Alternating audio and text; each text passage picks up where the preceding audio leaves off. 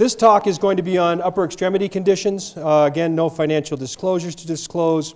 Um, the uh, list of things that we're going to.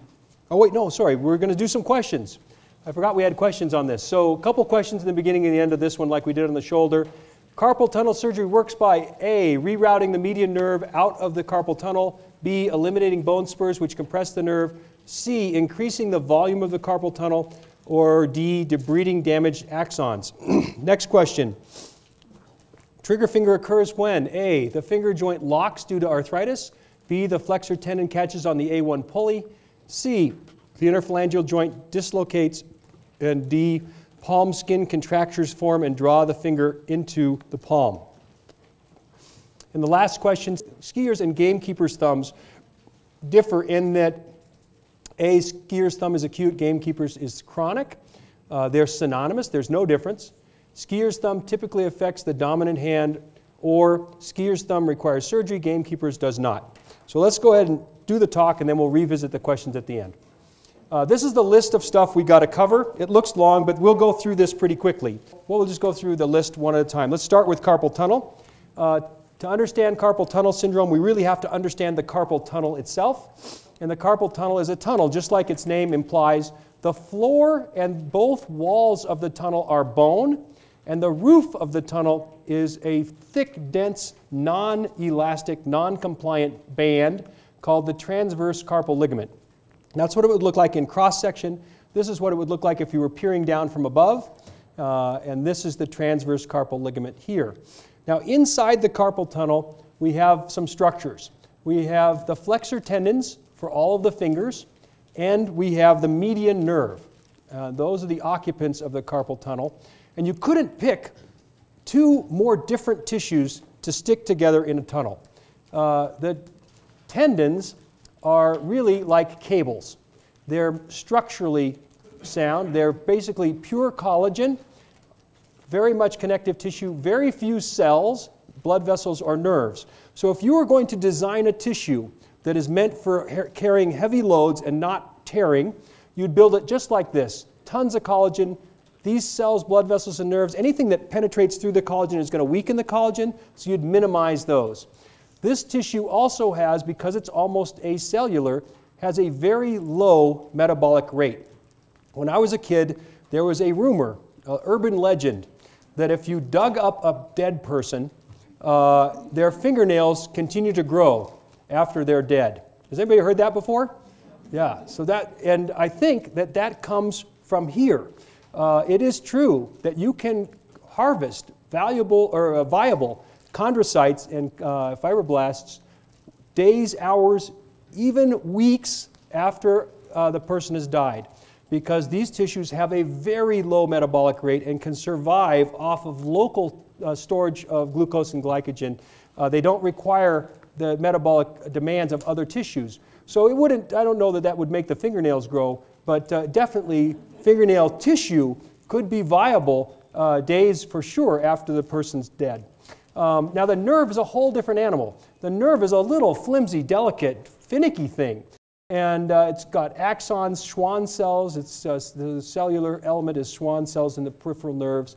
It has a complex microvascular system and a very high metabolic rate. If you go way back to medical school, you'll remember this.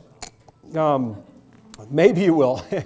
um, the two tissues in our body that have the highest metabolic rate are nerve and muscle. And they have a high metabolic rate because they have an electrically active cell membrane.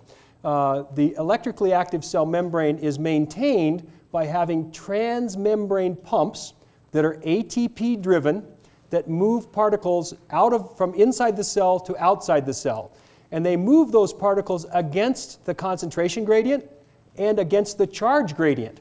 So it sets it up like a mousetrap and when you want to fire the nerve, you open the channel, and because the concentration gradient's already been established, those par charged particles rush in. They want to rush in because they're going toward the opposite charged particles and away from their concentration gradient. So that's how we set up nerve impulses.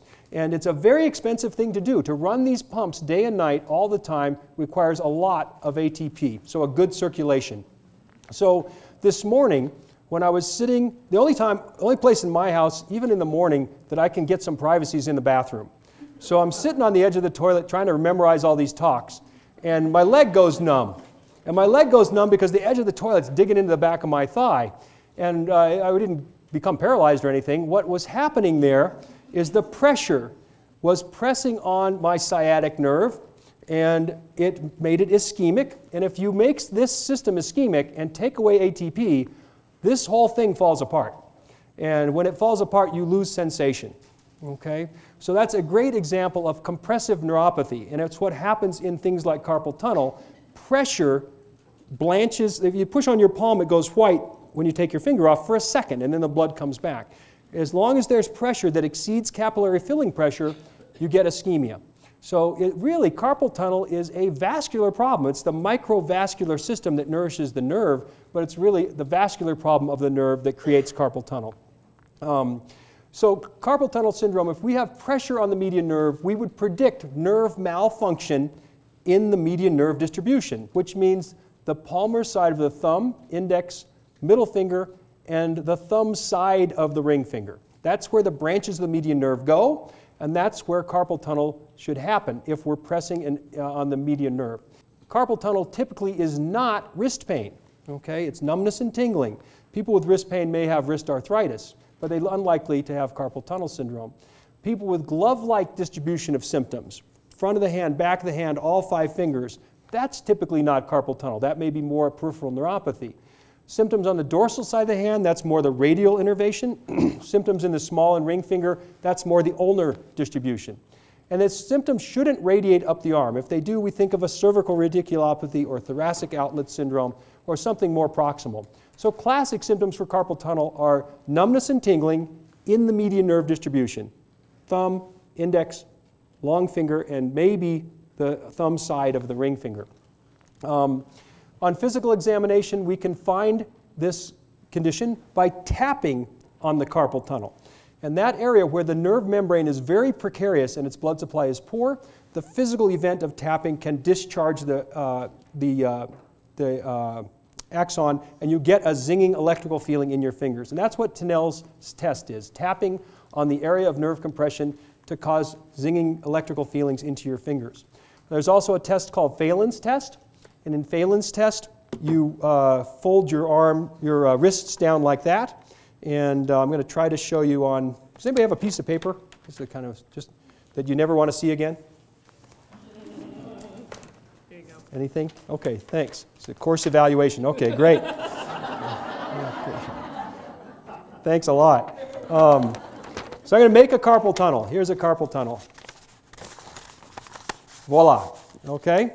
And if I do something like that to the carpal tunnel, it pinches the contents of the carpal tunnel. Tendons don't care, they're, they're good with ischemia, but the nerve doesn't like that. So what we do in Phalen's test is we do this to the carpal tunnel, and if people have carpal tunnel syndrome and the nerve uh, membranes, uh, axon membranes are delicate or uh, out of balance, then you'll get numbness and tingling in the median nerve distribution. You'll reproduce it by kinking the carpal tunnel in Phalen's test. So that's why Phalen's test works. So this is a physical finding that's important to see. It's thenar muscle atrophy. So this big wad of muscle, if you look at your palm, you have this incredible muscle that controls your thumb. And that's median nerve innervated. And when you see thenar muscle atrophy like this, it means that the denervation has been there for a long period of time. And that's a poor predictor of success when we treat carpal tunnel. Um, there are two patients that don't get better when we treat carpal tunnel. One is the patient who doesn't have carpal tunnel, and the other is the patient who has it, but it's so far gone that nothing can recover. Okay? And this is a big red flag that this patient's carpal tunnel syndrome is gone beyond retrievable. Now, we sometimes will do uh, carpal tunnel release in these patients to arrest the progression, but we have to be honest up front that the chance for recovery of function is poor. Um, the etiology, trauma, anything that causes swelling in the carpal tunnel, ergonomics. If you're at your computer with your wrists bent, you're kinking your carpal tunnel. So ergonomically designed keyboards are meant to straighten out our wrists and unkink the carpal tunnel. Uh, arthritis, arthritis is a productive process. It makes extra bone, it makes extra fluid, it makes extra tissue. And uh, having arthritis can compromise the dimensions of the carpal tunnel. Pregnancy and fluid retention, thyroid dysfunction, those are things that can be correctable. I guess correct, pregnancy is correctable by delivering the baby. Uh, and it goes away. Very common for pregnant women to get carpal tunnel because of fluid retention and crowding in the carpal tunnel, and it's temporary. Um, the surgical or non surgical treatment of carpal tunnel is really meant to eliminate the source of nerve compression. So, oral anti inflammatory medications can help. If they can bring down inflammation, they can decompress the carpal tunnel. Braces. Um, this is a carpal tunnel wrist brace, and it's a Velcro brace with a metal strap on the palm side that just holds the wrist like this. And for many patients, they get into trouble at night because they sleep with their wrists bent, and you just can't consciously make that not happen. So we put a brace on them, we have them use it only at night, and just by keeping the carpal tunnel open, we can cure them in many cases just with night braces. So a night brace I have them wear for two to four weeks, and if it doesn't work after that, it didn't work. But for many patients, it works. Uh, and then cortisone injections can work too. Cortisone, as we talked about, is a potent anti inflammatory, and it gets in the carpal tunnel and it can decrease inflammation around the median nerve. Uh, the cortisone injection we're talking about is going to be best if we deliver it right here through the transverse carpal ligament into the tunnel underneath. It's less effective if it's given here or here, so we want it there. And the technique I'll show you for getting, uh, doing a cortisone injection for carpal tunnel is very simple and straightforward. The landmark is the distal wrist flexion crease. If you look at your wrist, you say, oh, well, look at that. There are two creases in most of us. And we want to look at the distal one, the one closest to the fingers, and go about two centimeters distal, and you want to be right in the middle, right in the midline. And uh, there's a technique for how deep to put it.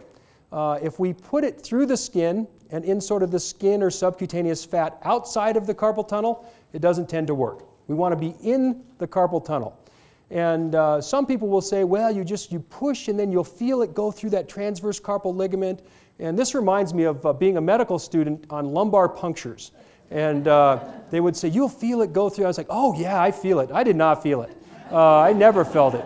It was an emperor's new clothing thing for me. And uh, feeling the transverse carpal ligament is an emperor's new clothing thing for me, too. Uh, I don't think that you can feel it. At least I can't. Maybe some people can. So, the technique I would recommend instead is to use that landmark I showed you, put the needle in, and really, really slowly advance the needle.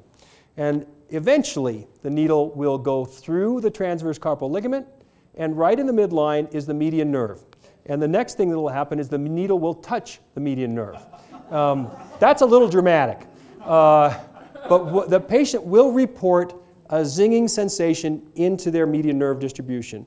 And there's no harm. You're not injuring or damaging anything by touching the surface. This, I plowed into it a little bit, but just imagine we're touching the surface of the nerve with a needle. And then once you get that reaction from them, pull back slowly, just like a millimeter. And once that stops, that means you're hovering right over the surface of the nerve. And that's where you want to give the medicine. Uh, the, uh, I have some of them where I do that. I'm going slowly, going slowly, going slowly, and I hit bone.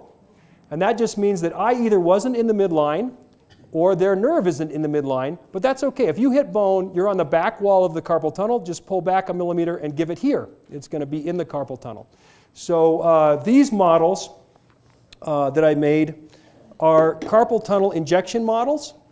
And the way this works is you see the distal wrist crease, you go in the midline two centimeters distal, and you slowly, slowly and they scream, and that means that you're in the right spot. Uh, you just want to pull back a tiny bit and give the medicine there. So uh, that's the injection technique for carpal tunnel. And it's a good technique. I'm not joking. I want you guys to try that. Um, so we pull off the nerve and we put the medicine in there. Um, there'll be, again, one of a few scenarios, just like the subacromial space injection. One, the patients are permanently better. And this can happen. We talked earlier about the ability uh, of corticosteroids to cause permanent fatty tissue atrophy. So you can actually atrophy some of the fat in the carpal tunnel and make room.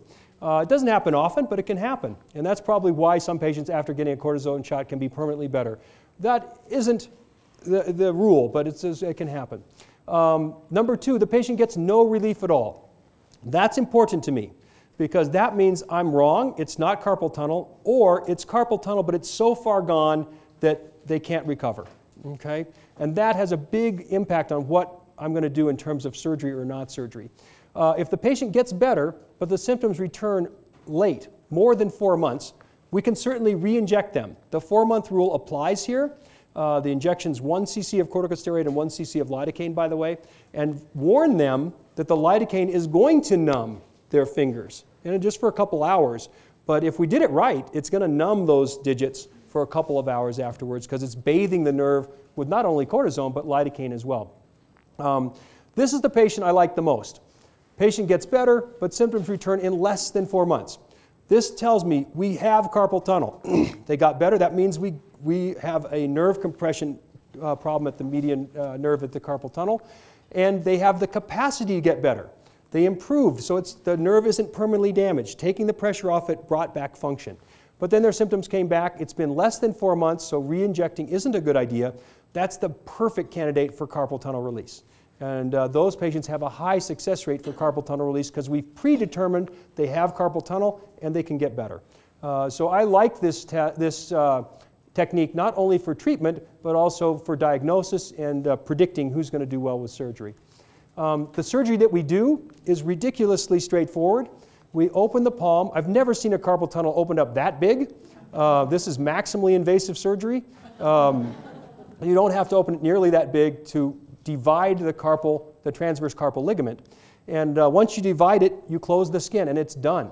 So we're talking a five, 10 minute procedure. Can be done under local or a Bier block anesthetic. They don't have to have a general anesthetic. Uh, that's the skin, subcutaneous tissues, and transverse carpal ligament divided.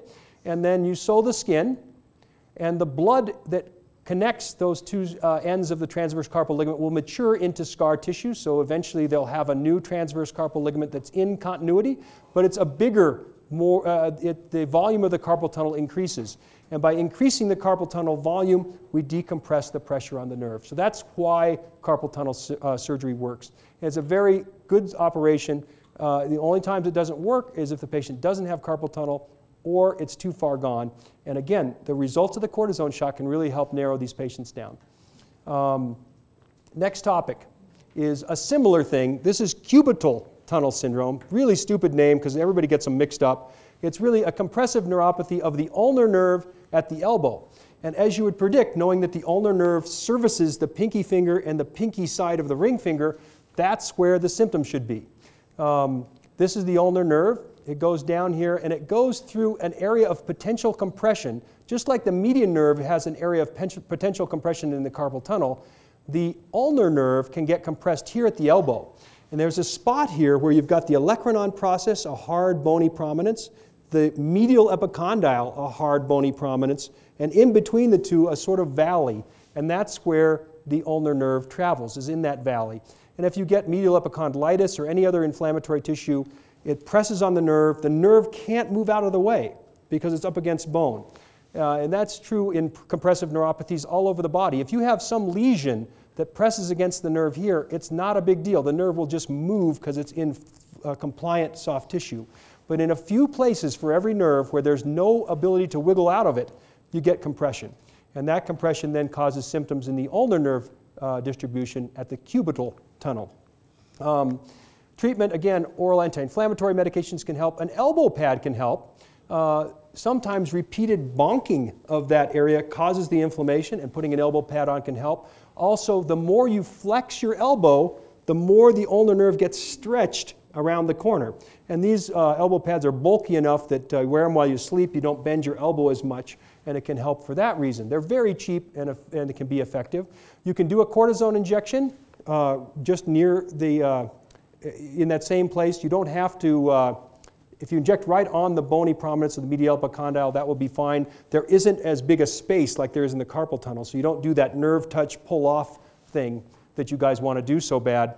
Um, and then the surgical solution is a little different. For the ulnar nerve, uh, what we typically do is transpose the ulnar nerve. So we find it and we take it off the, the uh, retinaculum that holds it there and we move the ulnar nerve here.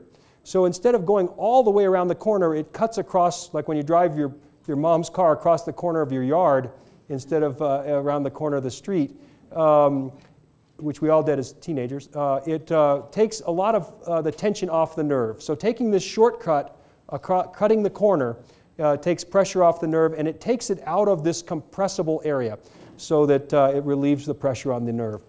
The results are good for this, not as good as carpal tunnel. Uh, carpal tunnel seems to be a better operation than trans, uh, transposition of the ulnar nerve, but it's the surgical treatment for a compressed ulnar nerve. Um, let's go to the next topic, which is trigger finger. Have you guys seen this? This is really something. Uh, you don't forget it if you see it once. It's a really impressive thing. Um, the hallmarks are it's usually the ring finger, it can be any finger, but usually the ring finger. The patient will come in and they'll say, Doc, my finger gets stuck like this. And they'll show you, it'll stick, and then they'll have to clunk it out, and it'll snap out with a big snap. And it's very impressive. Uh, the other physical finding is if you palpate on the palm, just proximal to the digit that's triggering, you can feel a little sore, swollen nodule. Okay? So those are the things that you see on physical exam. Um, this is a chopped off finger, and uh, I only put it up there because it's interesting. We don't have any muscle in our fingers. Okay? If we, if we did, uh, the muscles in our fingers to move our fingers, if they lived in our fingers, our fingers would be big and muscular, and we couldn't do fine things. So our fingers are operated by string puppet system. The muscles are in our hand, but most of them are in our forearm. And if you just watch what happens when you wiggle your fingers, you'll see all kinds of muscles moving in your forearm. So the forearm muscles connect to the finger using a tendon, and that tendon, when the muscle contracts, it pulls on the tendon, and the tendon moves the finger. So schematically, if we look at a finger from this, this is all the muscles up in the forearm and the tendons. This is a side view of a finger. And uh, this is schematic uh, showing the extensor tendon on the top, the dorsum of the finger, the flexor tendon on the bottom. And if you want to flex the finger down, you tug on the flexor tendon, and that curls it down. And if you want to then straighten the bent finger, you tug on the extensor tendon, and that pulls it forward. So it's a neat system designed to keep our fingers slim and nimble. Um, the flexor tendon has these hoops that hold, it's sort of like the eyelets on a fishing line. They keep the tendon near the bone. You don't need them on the extensor side because our fingers don't go backwards. But here, if you were bowed like this and pulled hard, it could bow away from the bone. So we hold the tendon near the bone with these, uh, they're called pulleys. They don't look anything like pulleys to me. They're uh, more like croquet hoops or something. But, uh, but anyway, this, they call these pulleys. And the very first pulley there are annular pulleys and cruciform pulleys. I've just drawn annular pulleys. The very first pulley is called the A1, the first annular pulley. And what happens in trigger finger is that the tendon rubs against the pulley and it gets this inflamed nodule. And the nodule is big and bulky enough that it gets hung up in the A1 pulley. It will go this direction, but it gets hung up when you try to straighten your finger. And if you pull hard enough, it'll pop through there. But every time it does that, it irritates the tendon more and makes the nodule more inflamed. So it's sort of a self propagating thing. Um, as far as treatment goes, we can put their finger in a splint, and by splinting them in extension and stopping that triggering, uh, we take the friction away from the tendon and keep it from rubbing against the A1 pulley. The infl inflammation will go down, the nodule will shrink, and that can solve the problem. But they got to wear the extension splint for a long time. Oral anti inflammatory medications can work, but they're not typically that effective. A cortisone shot here is a really this is a winner. Uh, really works well for trigger finger, and uh, it's easy to do. Um, let's say we're working on the ring finger, and I have a model for this, but it works so badly I didn't bring it. Uh, so I'll just have to describe it to you. Um, the landmark is one or two centimeters proximal to the flexion crease at the base of the finger. We're on the palm side, and we want to go straight down through the skin until we either hit the bone, that means that we're uh, in, in the tendon sheath uh, on the far side of the tendon, or until we're in sort of a rubbery thing that uh, feels firm, and that's the tendon. And if you're in the tendon, you won't be able to push the plunger, it's too dense. So push the plunger, hold pressure on the plunger, and pull out slowly. And as soon as the needle tip leaves the tendon, it will spread the medicine in the sheath. The tendon injection really should be in the sheath and that's how you can get it in the sheath blindly, even though the sheath is like a half millimeter space around the tendon. Uh, so either go through, if you're pushing and you all of a sudden hit bone, you're good, just deliver it there. If you're in something that feels firm and rubbery and you can't plunge, hold pressure on the plunger, pull back, and you'll infiltrate the sheath there. Um, there's a surgical solution for this. It's safe, it's simple, it's effective. It's a really fun surgery to do. I'm kind of disappointed we don't get to do it more often because the cortisone shot works so well, I hardly ever get to operate on these. Uh, and it's a different surgery than you would imagine. If I had to invent the operation, I would say, okay, I'm going to go in there and I'm going to whittle that nodule down. And nodule whittling is a bad idea um, only because the structural elements of the tendon get cut when you whittle the nodule, and you only leave behind a few that'll hold, that hold it. So the rupture rate is really high if you whittle on the nodule. So whittling, no good. What we do instead is we release the A1 pulley. And uh, the A1 pulley, when we open it up, it, like the carpal tunnel, will scar back as a bigger uh, opening. And sure enough, after uh, getting rid of the friction against the A1 pulley, the nodule itself will go away. So the solution is on the pulley side, not on the nodule side. And that's a uh, trigger finger release, it's called. Super simple, tiny little scar, five or 10 minutes of surgery, great results. Uh, it's fun to do. But doggone it, the cortisone just works too well. Um, let's talk about thumb pain. There are three things that we see in the office all the time that cause thumb pain. Gamekeepers and skier's thumb, I'm lumping them together. De Quervain's disease and CMC arthritis. So let's look at gamekeepers and skier's thumb. The thumb joint, like the knee, has collateral ligaments on the sides to keep it from tilting varus valgus, okay? And what happens when you're skiing and you have a mitten on or you're holding your pole and your thumb gets stuck in the snow when you fall is you sustain a force that pulls your thumb this way. And that can rupture the ulnar collateral ligament of the thumb metacarpal phalangeal joint at the base of your thumb. And that's a traumatic, sudden rupture. That ligament was normal five minutes ago, and now it's torn in two. Uh, this uh, doesn't show it well, but that's a bruised, swollen palm, tends to cause bleeding and swelling in the palm. Uh, and if you examine the patient, and it's hard to do because they're uncomfortable, and you just tug this way, the thumb opens up, just like a collateral ligament tear opens up on a knee. This is a different animal. Gamekeeper's thumb didn't happen from a sudden violent uh, force on the thumb. Gamekeeper's thumb happened because the ulnar collateral ligament, that same ligament, got stretched and stretched and stretched until it just became incompetent and lax. And it got stretched traditionally. A gamekeeper would uh, kill injured birds that were injured by hunters by wringing their neck. And this is a picture from a really disturbing YouTube video I found on how to kill a chicken uh, with your hands. And you can see how this is going to put a, uh, a force on the thumb that would stretch the collateral ligament. And so gamekeeper's thumb is an attritional stretching over time of the ulnar collateral ligament. Skier's thumb is a sudden rupture of the ulnar collateral ligament. So that's the way in which they differ.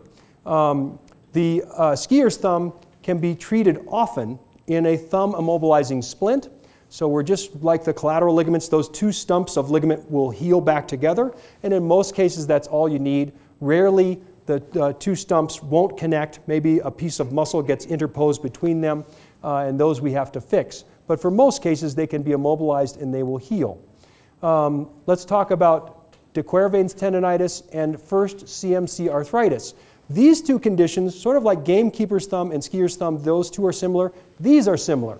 And really, when I see somebody with thumb pain, 90% of the time it's going to be one of the two of these. So we need to figure out how do we discern which one's de Quervain's and which one's is first CMC joint arthritis.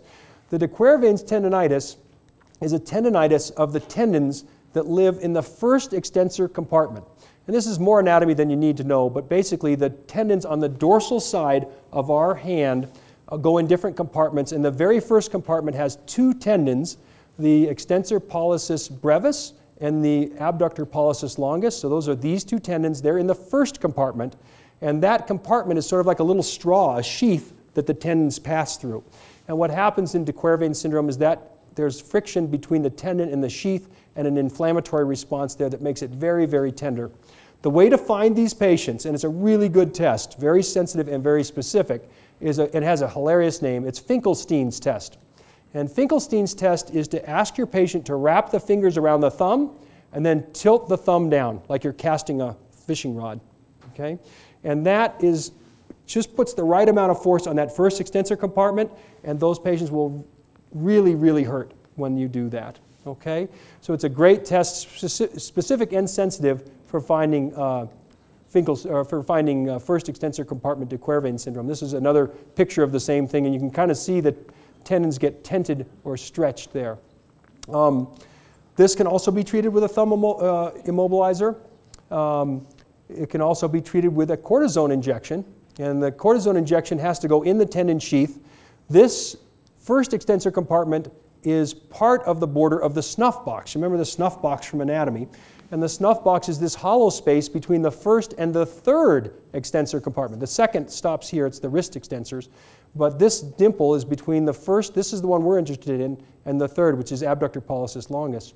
And uh, you want to give the injection into that, into the tendon sheath of the first extensor compartment. So it's one of those things where you puncture in, get into the rubberiness of the tendon, start plunging, pull out, and as soon as you come out of the tendon, you'll be in the sheath. And just like the trigger finger injection, you can inject that tendon sheath. It's very, very effective.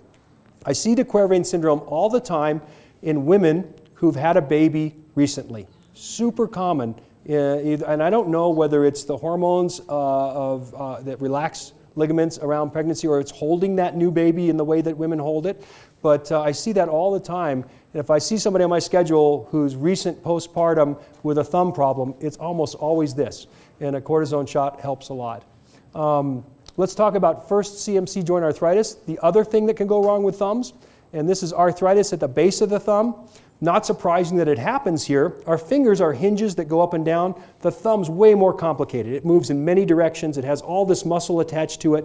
It has a lot more purpose than the fingers. So the joint at the base of the thumb gets a lot more mileage than the joint at the base of the fingers. And the cartilage surface can wear off, and you can get bone on bone grinding at the base of the thumb.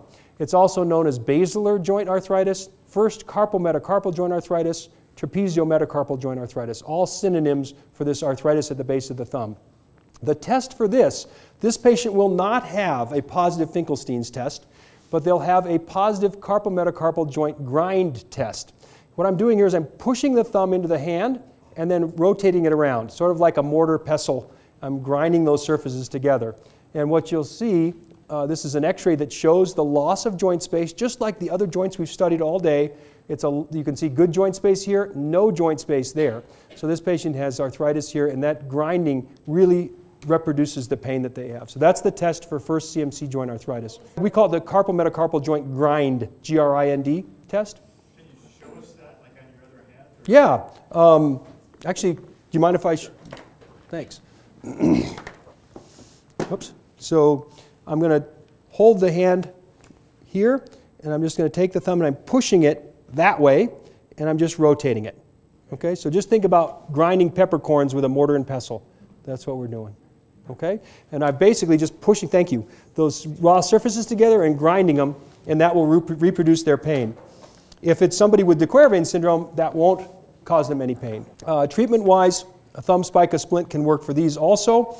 Uh, there's a cortisone shot we can give into the first carpal metacarpal joint. That's an easy one to do. Um, the technique, uh, the cool thing about this little joint, unlike a knee or a shoulder, is if you tug on the thumb, you can actually open up the space by a couple of millimeters. And this is an injection model for first metacarpal joint arthritis. So the metacarpal of the thumb is easily palpable through the skin. So I start here and I walk backwards. The joint we're talking about is here, not here, but at the end, the proximal end of the metacarpal not the proximal end of the phalanx. So here, it's a wrist problem. So I feel with my fingernail, I can feel a little gap there. I'm going to take my needle, and it's sort of like the AC joint technique that we talked about. I'm going to walk around until I fall in, and that's the spot. There's a surgical solution for this if we can't manage it non operatively, and that's a uh, resection arthroplasty. We go in surgically and we remove the trapezium bone, the one that it's grinding against, we just take it out. And uh, we take a nearby tendon and we roll it up and put it in there to be sort of a cushion that's not bone, it's soft tendon material. And it's a redundant tendon. It's a tendon that we can live without. So we don't miss the tendon being taken away from where it used to be, and it acts as a pillow or cushion in the joint, which helps the pain of uh, carpal metacarpal joint arthritis. Uh, some people call that an anchovy procedure because you roll it up like an anchovy. Um, The last topic on our upper extremity talk is uh, lateral epicondylitis. So this kind of belongs in the patellofemoral joint plantar fasciitis bundle. This is something that's hard to treat. We have ineffective treatment for it. It's common, it's a real nuisance, and it really bothers patients.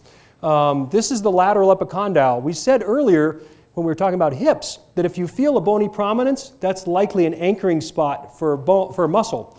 And the lateral epicondyle is the anchoring spot for the wrist and finger extensor muscles.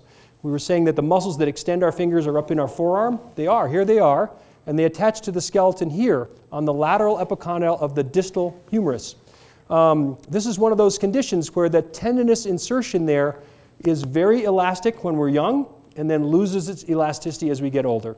So when it stretches, it starts to tear microscopically, like the plantar fascia does, and you get inflammatory changes and pain. Um, as far as the history, people will complain of pain over the lateral side of their elbow. It may radiate into the extensor muscles, uh, they'll complain of stiffness, pain with finger and wrist extension. That makes sense because those are the muscles that we're using when we uh, pull on that area. And then a lot of almost nobody plays tennis. So uh, it, it, the tennis part is, uh, is more of a nickname than anything else. It's called tennis elbow, but lateral epicondylitis is its medical name. And very few of my lateral epicondylitis patients actually play tennis to get their tennis elbow. Um, physical exam, point tender over the lateral epicondyle okay? And the lateral epicondyle can be hard to find. It's easy to find this. This is the olecranon process, huge bony prominence on the point of your elbow. And then laterally and medially in both directions, there are other smaller bony prominences, the medial epicondyle on the medial side and the lateral epicondyle on the lateral side. And if you're having trouble finding those, come up afterwards and I'll show them to you. But they're palpable even if, uh, in a heavy patient. So tenderness there is one sign. The other sign is to have them straighten their elbow. It's important that this be done with the elbow straight because uh, that puts stretch on this muscle system. And then push with their fingertips up. That's going to recruit the wrist and finger extensors against resistance, okay? And if they have lateral epicondylitis, that's pulling hard on that muscle attachment and that will light them up. If you flip them over and do this, in other words, flexing the fingers and wrist against extension. So this is lateral epicondylitis test. We're going to flip them over and do a control and have them flex this way. That checks the medial epicondyle and its muscle insertion. So if we think somebody has lateral epicondylitis, they're tender over the lateral epicondyle, they have pain with resisted finger and wrist extension, and we test this. if they hurt here too, they're just a whiner. Uh, if they hurt doing this and don't hurt doing this, that's a very positive sign for lateral epicondylitis. So a great test to do in the office. Elbow has to be straight, resisted finger wrist extension, and it will light up the lateral epicondyle by tugging on that inflamed insertion point. As far as treatment, boy, the list is long because the results are poor. Uh, conservative, surgical, all of our treatment options tend to be not that great for lateral epicondylitis non-steroidals, stretches. And the stretch we want to do, again, it's like plantar fasciitis. We're trying to restore the elasticity to the system. And the way to restore the elasticity to the extensor muscles is to do a stretch that pulls on the extensor muscles. So elbow has to be straight, and then use your other hand to pull your wrist down until you feel a stretch. And you'll feel it in these muscles. Hold it for 30 seconds to a minute, 10 times a day. And that's my recipe for all this stuff 30 seconds to a minute, 10 times a day. And if they roll their eyes and say, oh, that's, it's like, come on, it's five or 10 minutes. And that's all it takes, okay? No harm in doing more than that, but that's the minimum. There's a uh, compression strap, that's the stretch. You can also use a compression strap, and that's this. This is a tennis elbow band, and it works by the same principle as the guitarist capo. So a capo on a guitar is a little thing we can strap on the neck of the guitar, and it keeps the vibration of the string from going up past the capo. And guitarists use it to make higher notes, uh, but we can use it on the elbow to keep the forces in the muscles from reaching up to the inflamed spot at their attachment on the lateral epicondyle. Uh, and then the cortisone shot. And the cortisone injection we're talking about is right onto the bony prominence of the lateral epicondyle. There's a thin layer of skin there. It's hard to miss because the bone is so palpable there. Uh, but I got to warn you two things. One, this is painful. This and the plantar fascia injection are the most painful shots that I give. So this really, really hurts. And number two, the complications, the skin complications of injection which are probably there with all the injections, but boy, hardly, very, very infrequent with all the injections except this. I've, I see skin complications when I give this injection, and the skin complications are a blanching of the skin, and also the vessels in the skin become really prominent, like sort of varicose vein pattern in that blanched skin, and the skin gets thin. And some people, the varicose veins get so prominent that they'll rub their shoulder or their elbow against something, it will bleed, and they have a hard time. It you know, bleeds for a couple days. Um, the good news is that it happens uh, usually months after the injection. So they forgot that you did it, and it's not your fault. Uh, other good news is that it, uh, it goes away, and it goes away after a couple of months, which is a long time, but it's not permanent. So I always tell people there may be this weird skin reaction that occurs a couple months from now. If it happens, it is frightening, uh, but it will go away. We just don't ever want to inject on top of one of these lesions when it's happening uh, because then there's a chance it won't go away. Um, this is kind of a quacky thing. This is using uh, a uh, ultra, like uh, the kidney stone buster to uh, blast the lateral epicondyle. And uh, whenever you see weird things like that, it just emphasizes how bad our orthodox treatment is when people start doing unorthodox things. Um, someone earlier asked me about PRP, which is platelet rich plasma. I want to talk about that for just a second. Uh, here are the three amigos here the red blood cell, the white blood cell, and the platelet. And the platelet really is the ugliest of all of them. Uh, and uh, it's uh, a specialized particle, really, in ours. Hard to say it's even a cell. Uh, but uh, platelets, as we all know, even from kindergarten, I think, they, they link together and make a clot. They're the scab makers. That's been known forever. But what's interesting and also not as obvious is that these platelets are packed full of granules, uh, granulocytes, that have all kinds of interesting chemicals in them. And when platelets aggregate, that's a signal for them to jettison these uh, granulocytes, or uh, these granules of chemicals. So they release all kinds of interesting things that we're just starting to characterize. And they're growth uh, factors and tissue healing factors, really interesting stuff totally makes sense that these would be the cells or the, the particles to do that because they're right there on the scene when we get injured making a scab. Um, the thought with platelet rich plasma is okay, we have these packets of fairy dust. We want that on tissue. We're going to uh, use, we're going to take the patient's blood, we can centrifuge it and, and easily isolate the platelet rich part of the, of, the, of the blood. And then we're going to infuse that platelet rich plasma into the lateral epicondyle or the greater trochanteric bursa or the plantar fascia. Um, usually they, this treatment comes up for things that are hard to treat that we're not having much success for. Um, unfortunately, in prospective, double-blinded, randomized trials, we have not seen a big difference. Uh, it doesn't seem like the platelets are jettisoning those uh, fairy dust packets, or if they are, it doesn't seem like they're making a big enough difference to make that result different from just injecting saline. So PRP is out there. Uh, most insurance companies don't cover it because it's not been uh, proven to be successful in rigorous clinical trials. But patients will ask about it, and there are plenty of spots in town here that do it. It's an out of the pocket expense. And I don't think it hurts anything, and I've had some patients who feel like they get better. So I'm open minded about it, but the idea that, it's, uh, that the fairy dust is doing the job seems to not hold water. Um, how about surgery? Surgery is also bad. We have poor success rates with surgery, and there are 13 different operations for how to deal with this, which again is a red flag that we don't know what we're doing.